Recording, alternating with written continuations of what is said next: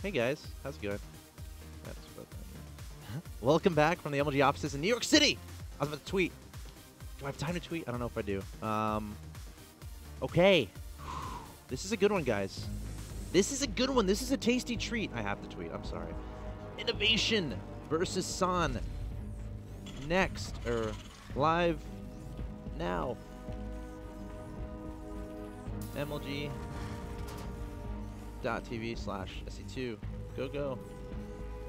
Uh, WW Western Wolves versus Acer.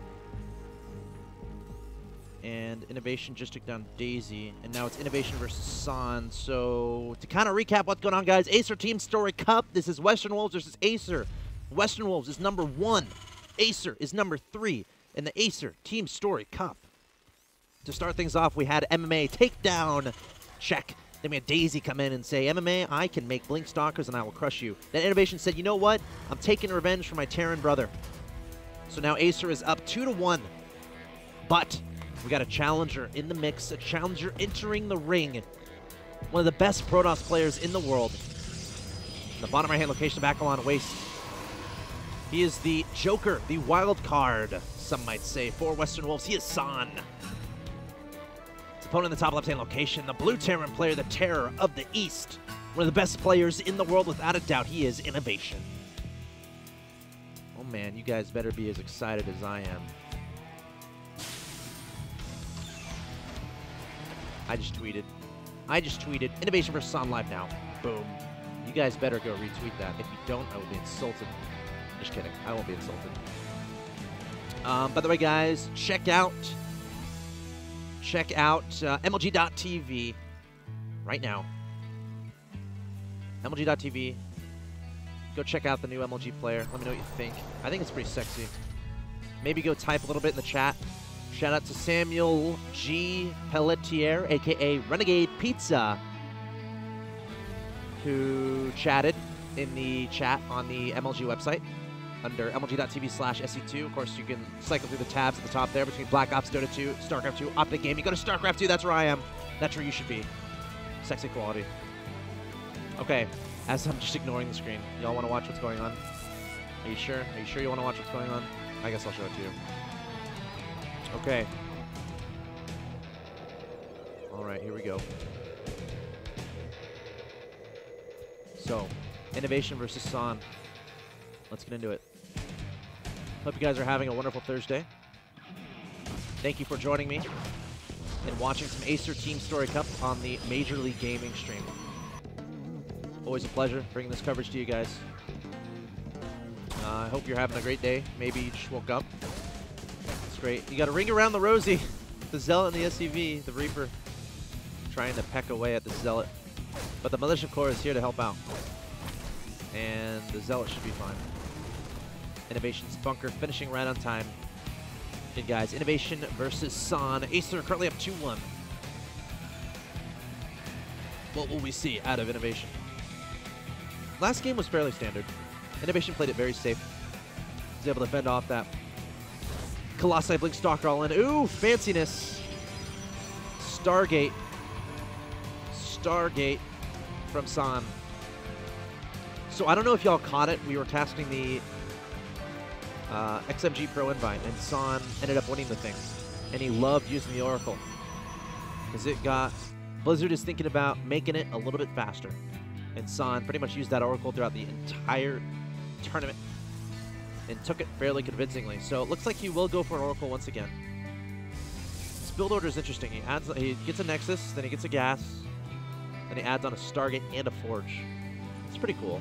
Skipping the Robo. Reaper darting in here. He's going to see... Oh, did he see the Stargate? He did. Wow. Oh, that's a little bit of a mistake for San. I mean, you don't want to... You, if that Stargate's in the very back, you don't want a Reaper getting that far. Like a Stalker here would be nice, a Stalker here. Because the only way you can get in is through the front. Right here. So, a little bit of miscontrol there from San. He's going to be a little bit frustrated about that. So now the Oracle is going to be known about. Now, the Oracle can still be pretty effective. And my question is, where does San go from here? Does he add on a Robo? Is that what he does? Just now starting Warp Gate. That seems a bit late. Is that late? Yeah, that's really late. He forgot Warp Gate. Oh, son. Yikes. He's going to have to make some... He might even make some units out of these gateways, honestly. A couple sentries. I don't think it was on purpose. I don't think he delayed Warp Gate for that long on purpose. I'm not entirely sure, though. He might have. Okay, Oracle on in here. There are already Marines here. From Innovation. Getting ready to receive this attack. Here we go. San poking in, seeing those Marines, then backing away. From here, just glorified scout innovation. Going up to that starport. Engineering bay, already starting up with the plus one weapons upgrade. Churning out a bunch of Marines and Marauders. Here we go. San coming to the middle. Only three Marines here. Going to activate Pulsar beams. Taking out those Marines, those Marines one by one. Oracle's pretty darn good, but there's a lot of Marines there. San with some fancy micro, though, is going to get away straight to a High Templar Archives. That's pretty cool. He got that pretty darn fast. Also getting charge. So... Is this going to be... He might go for Fast Storm. I feel like this is more... Hmm. He might go for Fast Storm. I mean, Archons obviously are going to be great. So that might be the main thing. It might be dependent, like if he feels scared about a push, he might forego the Storm a little bit and just only have the High Templar Archives for making Archons. Oracle still sneaking in here. Of course, if he feels like he's going to be safe for a bit, he's going to be like, all right, I'll start Storm. But then that's a lot of gas using on Templar. And right now, you kind of want to spend use your gas on the more mid-game upgrades. Like Storm is more considered mid-late game, whereas right now we're in the early mid-game slash mid-game. So what's more important with that gas is sentries, upgrades on the Forge, upgrades on the Twilight Council. Um, so Templar Archives might be just in case, just in case thing. You know, you can use it for feedback. Oh, did, did Innovation see...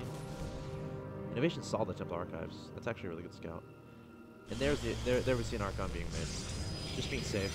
Will he keep any of them alive? No. Two Archons. So, I don't think this is going to be a push. He's still making probes, but we're getting about the time where he might take a third base. Hmm. Because generally you get you get some fancy tech out, like Colossi or something, or Storm, or I guess Archons, and then you try to take that third. But he also knows that it's very likely Innovation might be pushing out. Because the push hasn't happened yet, and what Terran doesn't push behind a few medevacs? Now Storm is just underway. That Oracle, speeding away from those Marines. Okay, let's see what happens here. It's a lot of stuff coming forward from Innovation. Is San prepared for this? He has plus one armor, plus two armor about to finish. Meanwhile, Innovation's only at 0-1, about to get 1-1. So going to be fairly even as far as that's concerned. Keeping one High Templar alive for Storm. Ghost Academy not yet being made here. Wow, Innovation just going up to a billion barracks. Adding on an armory engineering base so we can keep the upgrades going. Getting that third commander. That probe is like, you, no way, man. I'm not letting you land on my face. And that probe's going to die. Poor little guy. Command center will drop. But here comes San. I don't know about this. We'll see. This is a nice little threatening attack. Innovation going to back up. He did not expect this. That's a lot of charge lots. Keep in mind, San making a third base behind this. This game is about to get very fast-paced. Oracle finishing up. We have about Oh my god, nine medevacs, lots of Marines and Marauders. There are two High Templar here. I'm not sure if Innovation was able to scan that. So Innovation's like, where is he coming from? He sees his rocks being attacked. He sees his Zealot at the front door. Look out for the storm. High Templar coming up. Innovation gonna know about that. Ghost Academy should, should come down any second from Innovation. He's got to start preparing for that storm stuff. Because the storm stuff can be crazy and scary. Behind this, We've got a Robo Bay on the way, so San eventually thinking about going into Colossi production. I love the Warp Prism being added on. Here we go. Guardian Shield going down. Archon's coming forward. The High Templar trying to get in range and throw down a storm. A great storm there. Hitting a lot of the Marines and Marauders. Innovation going to back up. Ghost Academy, where are you? The longer you delay that Ghost Academy, the scarier storms will be as the game goes along, unless you have crazy micro. Innovation does have crazy micro, though, so might be like, all right, you know what, Storm, I could just dodge it. Why, why would I care about Ghost? Run away. But I kind of like this, that whole push. Like, obviously, San wasn't looking to kill his opponent, just looking to apply pressure, taking advantage of the fact that he had Storm. His opponent couldn't really do much about it. Um, more importantly, behind that, taking two gases, getting a third base. Also researching range. He's got a Robo. Going to add a second Robo. Robo going to go into double Colossi production. But there's a timing here before Colossi can get out where Innovation might be able to do some scary stuff. But again, he doesn't have Ghost, so he always has to worry about Storm, which is going to be an issue. But that's a lot of medevacs. So he might try to do some drop play, which could be fancy. San is thinking about that. He's like, okay, I'll put a High Templar in my main. He's got a cannon there. Has a High Templar and three results over here, cannon here. Great, great moves. Okay, might have an engagement here in the middle of the map. There we go. Innovation's just like, all right, that's a storm. I'll just dodge it. Another storm placed down, hitting a lot of those Marines and Marauders. Innovation saying, okay, I'll dodge that too. Colossi coming out. There are there's a High Templar here with Storm. Zealot on the high ground. Warp Prism has been made, and that's got two cheeky Zealots inside. There is a turret at this at this base. Going to drop those two Zealots. Going to back up. Innovation probably going to send his reinforcements to deal with that, sending two medevacs in that location while still trying to apply pressure to the front door. But guess what? Colossi is trying to get on the field. We're close to range being finished. And once that finishes, San is going to be very comfortable indeed. I love how he's buying himself time with this Warp Prism, warping in more stuff. We got a bunch of Zealots warped in, so Innovation going to have to worry about that, which means can't necessarily be aggressive at the front door. San also trying to take his opponent off guard with a High Templar Storm, but Innovation able to spot that guy and take him out. High Templar's lurking. Two more Colossi about to pop out, and that's going to be great. There's no Vikings here. I think Innovation's timing might be gone. All he has are Marines Marauders. She is max, but He's actually having a bit of trouble with that Zealot drop in the main, peeling off some units to deal with that third. High Templar coming forward, looking for a storm, and now we got two Colossi out. A third one's about to come out too, and San has range. If San loses his third base, it will be not a good thing. He definitely has the army advantage here. He has Storm, he has Colossi. His opponent only has Marines Marauders. Innovation coming forward, trying to split up those units. San, no, he cannot lose his third base. There is no excuse for that. And Innovation takes it out. He's going to be fist pumping all over the place. And San is going to have to remake that again. He has three Colossi. His opponent doesn't have Vikings, but San not willing to take a fight to save that third. He's going to have to remake that. Innovation going to be happy. Still no Ghost Academy, but he's adding on a starport. Two starports now. Where's the Ghost Academy? Come on, Innovation. Where's your Ghost Academy? He's like, I don't need it. I don't need my Ghost Academy. Big drop in the main base. Storm going down, hitting a lot of these Marines and Marauders, also doing a lot of damage to those medevacs. San going to take an engagement here in the middle of the map. Innovation going to back away. This was just a distraction.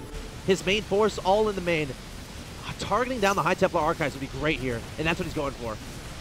Going to kite away from these Zealots. He can still pick up.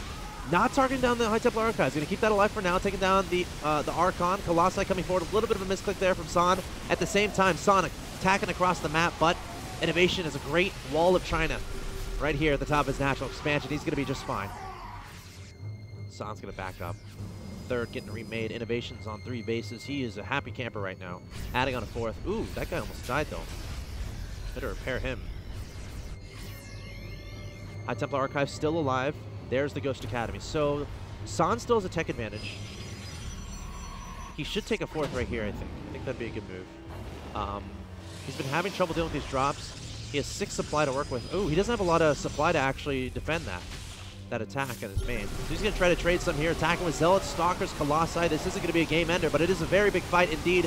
Vikings targeting down the Colossi. Nice storms there from San, hitting a lot of those medevacs. And again, the Ghosts aren't out just yet for Innovation. Going to back up, get in his bunker, lowering the supply depots so his units can get by. San not wanting to advance up that ramp.